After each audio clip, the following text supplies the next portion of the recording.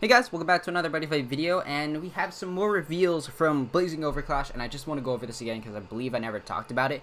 Basically, we're here on Buddy Spoiler. I'm not going to go through all the cards, so you can check them out and read some of the text or check out whatever website you'd like to see for updated Buddy Fight news. But anyways, right here we have the alternative set for coming in September, so fall. We have the Thunder Emperor and Chaos set that we looked at a ton while back with really good support for both of them, and of course the new Ultimate set, which is going to have support for older people, basically for renowned re re-owned or you know, buddy fighters, you know, I'm just saying random things out of my mouth. We got adventure support, new stuff for Folktale, Gara, Dragon Force, whatever the reason, Prism Dragon, Neo Dragons, and um, of course, adventure. We saw Kazane in the pack art, which I'll show in a second, and of course, Hyakugen Yamigedo support and some other stuff. So that's stuff from there, but I want to have a look at some of the promotional art because we actually have not had these cards revealed yet, but I want to show them off. So first off, we have a new Yamigedo.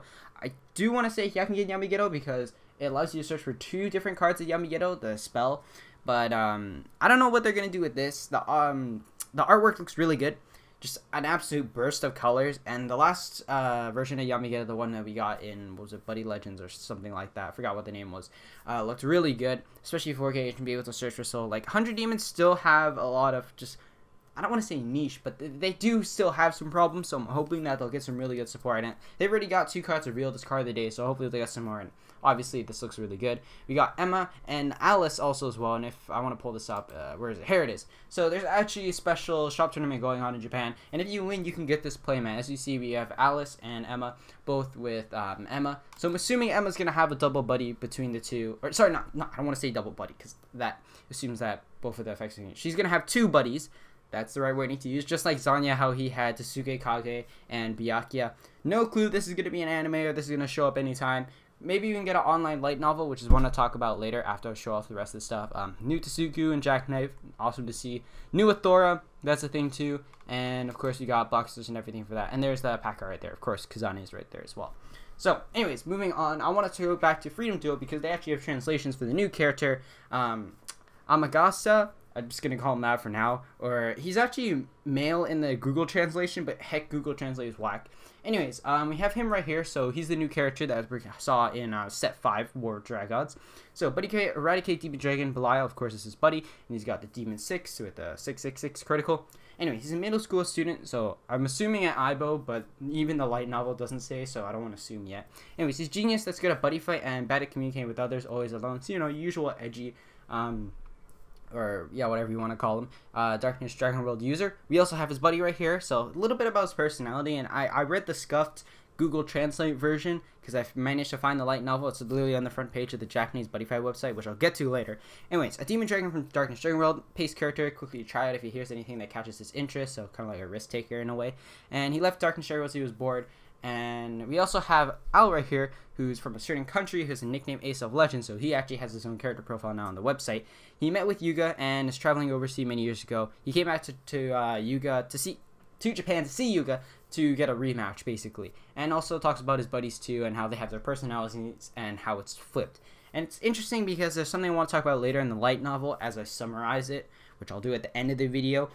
Um, anyways, here it is. Uh, we have the Hikaru one, which I actually did not. I haven't. I can't find on the Buddy Fight website. It's there somewhere. I just haven't put enough time to find it. But I found the one with uh, Amagasa, so we're gonna have a look at that. But anyways, we already talked about this before.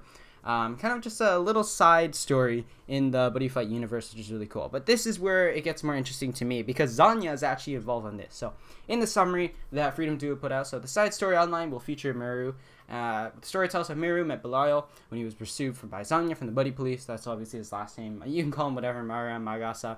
I don't know why the Google Translate calls him male for some reason. It's Google Translate. Anyways, he met Zanya, but is pursued. Sorry, he meets his buddy, but is pursued by Zanya from the Buddy Police for illegal trespassing to the human world, and Blau just gives him his deck and he fights Zanya. So, it's good to know that Zanya is alive. Um, it actually mentions that he's a leader of something in the light novel, but I haven't read an official or a good translation, and there isn't an official one for this. So I read the Google translated. Um, it's actually here. It is right here. Um, I used Google Translate, read through it, tried to understand what I could, and I'll recreate the buddy fight and put it on screen while I'm gonna summarize it. We also have cards that were actually referenced in use, so it's basically like a buddy fight. It's like a niche buddy fight episode, basically. Almost, I don't want to say an uh, what's it called? Uh, not not uh, DLC. Um, what's the what, do you call a bonus episode for a season? I don't know why I can't remember it right now, but it's actually pretty cool because it is like an anime episode. It's pretty short and it actually does uh, use the Nuzutsuki Kage and also this card. I don't know, ignore the Buddy Fight wiki. Um, the ad on the side, I mean. And we also have this new card. Well, it's not a new card; it's an old card actually. But um, it's a really cool Japanese blade for ninjas that he actually uses in the fight. So I'm just gonna go show some BFA footage right here. Just a quick summary of the actual thing while I try and describe what happens. So I'll put that up on screen. Anyways, we have, um, I'm just to refer to him as Meiru right now. I, I, know that's his last name, but anyways, um, Amagasa, Meiru, whatever you want to call him. He's basically like this edgy guy.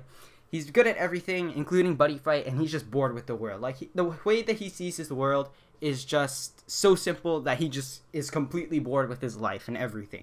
And so basically, he's just bored and doing whatever, so he decides to go sit in a park because he finds it that when it rains, it actually makes him more concentrated and things like uh, the atmosphere around him changes so that things are more how do I describe this uh, more interesting to him. They're different, so it, it doesn't make him as bored as he usually is. And also at the same time, we have this demon dragon, Belial, however you say his name, comes in, opens an illegal portal, portal, goes from Darkness Dragon World to Earth, and it's just there now and the buddy police, and then Zanya sent out. The buddy police are like, "Yo, wait, this is an illegal monster, so we gotta take him out." And then bam, they're sent out. So that's basically what happens. Zanya actually encounters Bel- uh, Belial. I- am gonna keep just messing up his name for some reason. And then he meets Meiru, and Belial's about to be arrested, but then Meiru suddenly just declares Meiru after kind of being I don't want to say taunted by him because he wasn't, but Meiru was basically talking about how his personality is almost opposite to Meiru. Like he always wants to try and find new things to entertain him. And he's just bored of Darkness Dragon World. Like that's why the reason he came to Earth.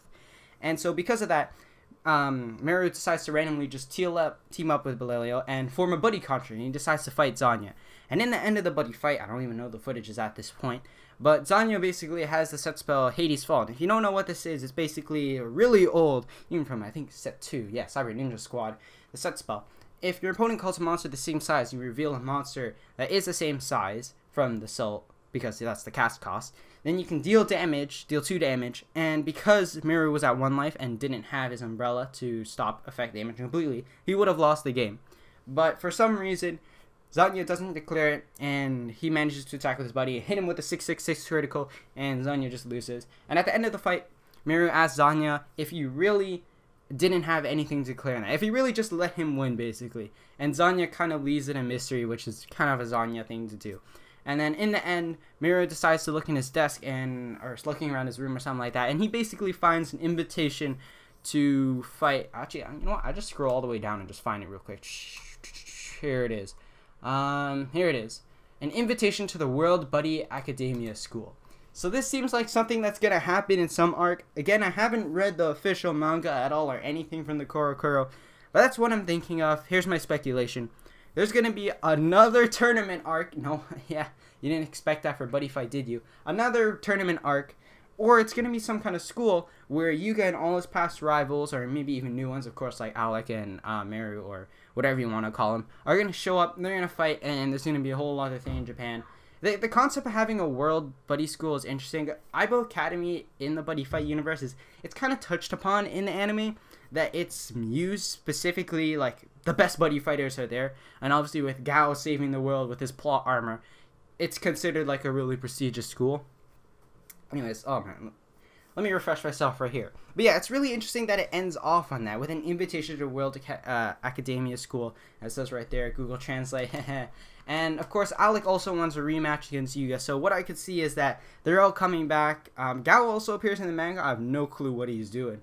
But it would be really interesting to see all these characters come together. Like, they all want something more. Again, I, I don't know how Buddy Fight is going to handle this or if we'll even get a new season. But that's what I'm thinking of now. And it's really cool to think of this fact that Buddy Fight, at least with these new characters showing up, even though they can't produce an anime or something at this moment, they're at least giving these kind of content to um, what's it called to fulfill people at least have something and of course there's also the crossover sets and they're still making the new stuff and honestly the new stuff demon dragons are kind of just like troll it's kind of a troll deck but legend dragons are honestly a lot of fun too and you know deity dragon tribe is deity dragon tribe but anyways for the most part, it's really cool to see this kind of stuff, and especially see that Zanya is alive. Nothing about Tetsuya, but Zanya is alive. He's with the buddy police. He's not the commissioner, because we know Tsuku is. And I still don't know how to consider this, like, I'm considering this canon to me. Again, we, we don't really have confirmation from anyone that it really is, or if it's even part of. well, obviously we know it's part of the Buddy Fight universe, but not necessarily part of Yuga's. But I'm assuming that something like this will tie together, and we already got one for Hikaru. I don't know if Hikaru is ever gonna show up and be like, "Hey, I'm part of the story now. I'm a character that exists." Maybe he could be a one-off. Maybe the anime will just never come back. Maybe we'll continue to get light novels like this for new characters. Either way, it's really cool to see them kind of fill little bits and pieces of story arcs and for characters within the Buddy Fight universe. So I think that was something cool to shout out. And um, if you guys did enjoy the video, tell me what you think. Again, there's no news of any anime, but I do want to keep hope for that. Like, I feel like it is going to come. I guess I feel like Buddy Fight just thrives off that. Or, okay, how do I say this? It, it builds hype in a way. It, it, does. Like, that's just undeniable. And the first season of Ace was produced to, um, the production was really good, and the story was entertaining enough that it really kept the hype going for Buddy Fight while it was growing. And I feel like if that doesn't continue, Buddy Fight isn't going to continue to do as well. Not to say it isn't doing well, because it is. But I really hope that the anime does come back, and I'm pretty sure a lot of people are as well. So really cool to get this kind of in-depth look at the characters. That's my summary from reading the scuffed Google Translate version. That's entire light novel. Like I'm just going through this whole thing. It's pretty darn long. P pretty darn long. But it's really interesting to see this. And again, the English isn't the greatest. So if anyone does do um, like an official translation of this, feel free to put on Google Doc and put it up somewhere, and I'll maybe do a video announcing it and plug it in for you. But yeah, it's really interesting to see this kind of extra content. Maybe I can find the Hikaru another time, or maybe you guys can find the Japanese Buddy Fight website. I'll link this, but you might have to refresh the link twice because uh, it's just a weird thing because it's alternation for the same um, server between the Japanese and English uh, website. So if it doesn't work again, just click the link again and it should work. But again, really interesting to see, and the artwork is pretty cool. So yeah basically all I've got to say. Unfortunately, we're not going to talk about too many cards yet because I still want to wait for more reveals instead of just jumping straight. Like, I could do card of the day videos, but I want to just leave that to what it is for now. And I think it's pretty cool just to get this in-depth look at the universe, even though we don't really have the anime right now. Because let's be honest, Bushiroad, or I can't even blame Bushiroad. The anime just hasn't done the greatest issue in working with the material buddy fight. Ace touched on it a bit and at least it had reference so you can be like, oh wait, I watched the first season of Buddy Fight. I can relate to this. I know who this character is. I know who they're related to. Blah blah blah blah blah. But and what I'm trying to say is that it doesn't utilize the material and the ideas of the world as well as I would want it to, especially when we have a lot of things. I made a whole video about this. For example, like the the war for that, but the war that like tore the world to ruins and killed Tsuku's parents and um what was it Kasane's father like there was that whole great war and then we had the whole thing about the drag sorry not the drag gods the deities or gods whatever creating the universe and then dra- uh, the drag gods were part of that and something like that. I think the let me go back to freedom duo for a second. There is a translation that they're actually here it is a dragon deity that works for the royal family or something like that. Like it feels like they're trying to throw in more lore now and i kind of appreciate that and if they did expand on that more then that'd be pretty cool. Especially when it comes to portals and uh, more of the connection between humans and monsters, or maybe uh, like I feel like Chaos. Uh, uh, Buddy Fight X tried to touch on that, like they're kind of being like, okay, you know, wisdom is treating monsters as like they were just animals, like we're enslaving them, like we're better than them but there should be more of a harmony or an imbalance between both of them. Like I feel like that's what Buddy Fight X was trying to do, but then it just ended as some whole cluster. I don't, I don't want to swear cluster F word, and yeah, just anyways, I've already ranted on enough. Hopefully you guys enjoyed all that with the Buddy Fight anime discussion. Tell me what you think of the novel. If you do decide to read the Scuff Google Translate version, or if there's a better translate version out there, I managed to read this whole thing. Anyways, the video is probably like 15 minutes long now. Thank you guys so much for watching.